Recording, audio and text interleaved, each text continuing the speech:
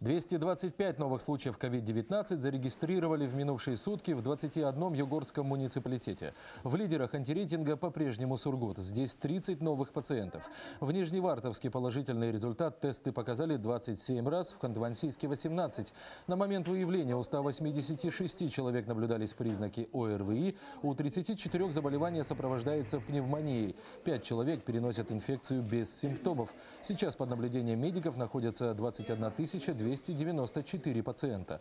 Состояние 141 врачи оценивают как тяжелое. 91 подключен к аппаратам ИВЛ. Вместе с тем, за минувшие сутки от коронавируса вылечились 228 человек. Таким образом, за весь период пандемии в Югре 35 424 выздоровевших пациента.